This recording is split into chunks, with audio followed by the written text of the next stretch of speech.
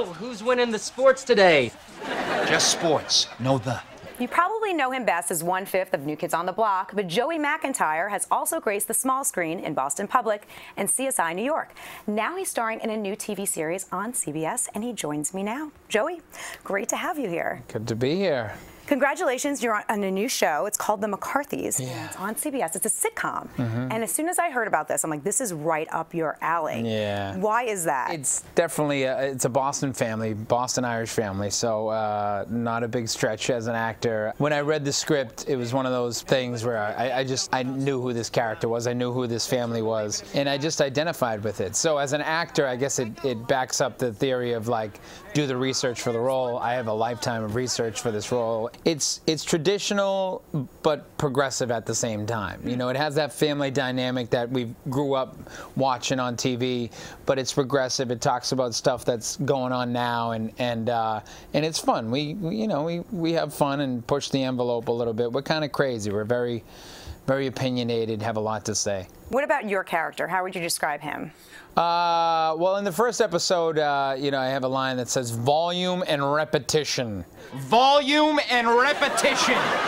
He's, he's a basketball coach, 5'9", which is a, a fine size, except he's the little guy in his family. He's got a chip on his shoulder, very opinionated, probably a little sensitive because of that, and maybe a little too hot-tempered at times. That's why you play JV. How much of your accent do you have to accentuate, or is it just the Oh, it's there. This what you see is what, What you, you get. get, So it's uh, it's out there and it's authentic. And uh, me and Jimmy Dunn, who plays my twin brother, who's not identical, he's like 6'3". He's he's from outside of Boston as well. So. Uh, we kind of bring that authentic accent to it. And Brian, the creator, he kind of loosely based this on his own life, correct? It's perfect. The the main brother Ronnie, who's played by Tyler Ritter, who uh, his dad's John Ritter, and and uh, so he comes from amazing TV genes and really sweet guy. But like like Brian, he was a teacher in real life and did a lot of the similar things. And sometimes it just it all comes together, and, and Tyler plays him perfectly. And Brian, the the creator, it's it's he says it's loosely based on his family, you know, because he doesn't want to, you know.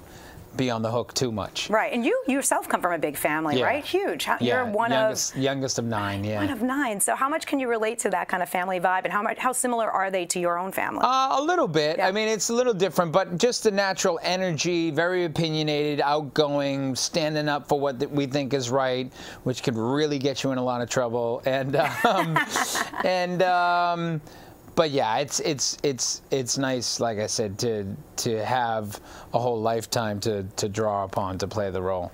We're also going to see you on another show, I believe, and this one is about the New Kids on the Block, and it involves a cruise. Oh yes, yes, yes, yes, yes. So what's this all about? Uh, Donnie is behind this, Yes. executive producing it or yes, something, right? Yes. So uh, we've been doing this cruise for about six or seven years, and at first we were like, "This is crazy. What are we doing? We're gonna be trapped on a boat." um, With a lot of fans. yeah, with a lot of fans, that whole thing, and and uh, you know, the minute we got on the Lido deck that first time, it was just. It was like spring break. It was like it was unbelievable. We were all kids again, and, and everybody was ready to have a good time. And you know, we want to give them the time of their life. You know what I mm-hmm. mean? Our fans now are, you know, older. They have families. They have lives. They have careers, and they, and we're their getaway. Yeah. You know, and we want to we want to show them a great time, and it's epic to get that all on camera and and shown in a way it's hard to describe. But now we don't have to describe it. This show is really going to showcase it in a, in a in a cool way, and it's all through the eyes of the fans. You know, we follow around these. I think it's like three or four groups of fans, and and how they see it and what it means to them. That's great. Uh, quite different than when you got your start in the 80s. I probably couldn't really even step out of your hotel rooms at that Yeah. point because the Yeah. fans were so young and probably Yes. really crazy. Yeah. We're a little older now. Yeah. And, you know, I'm sure Yeah. it's quite different. 1984, you guys formed, and Yeah. Mm-hmm. your first album came out in 86. It's been 30 years. I mean, it's crazy. unbelievable. Do you think, did you ever think you would be doing this at 40, 41 years old? Uh, no. I mean, I, I, we were feisty guys. You know what I mean? We were teenagers. We'd love to perform.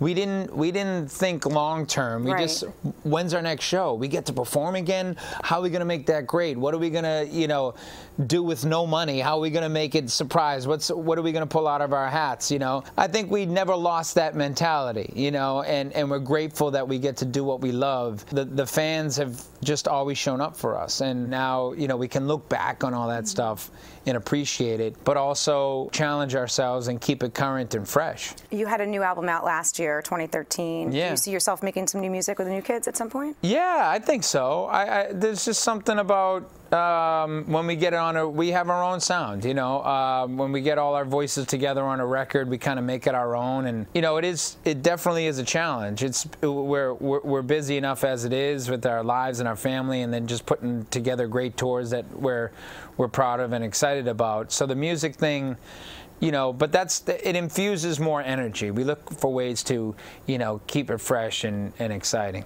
30 years from now, are you on stage with Oh new my kids? gosh. Because we, we're not, I don't even want to know. You'll be 70 30 years, something. yeah. Um, I don't know. We won't be. We we won't. The minute we can't do that, you know, new kid dance, we're, we're we might have to.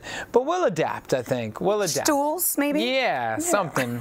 we'll figure it out. We always want. It, it's got to feel cool. You know what I mean? And and when it doesn't feel cool, you know, we'll still be friends and and we'll still have our fans and we'll we'll find ways to connect. But for right now, it, it's still cool. Oh, great. Well, thank you so much for coming in today. Thank it was you. really fun. Thank you. You can catch Joey McIntyre in the McCarthys Thursday nights at 9:30 on CBS. For this and all things entertainment, stay with CBSNews.com.